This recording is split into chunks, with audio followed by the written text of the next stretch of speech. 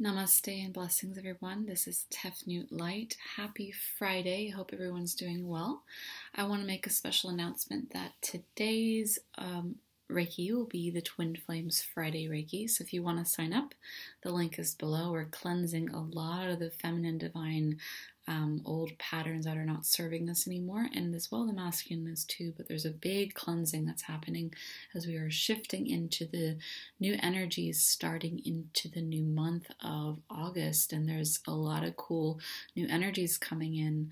Um, so, really exciting time. So, if you need the energy, the boost, I know how you're feeling. I'm here for you. Um, the link is below, and I will be doing the video and sending it out to all those that sign up.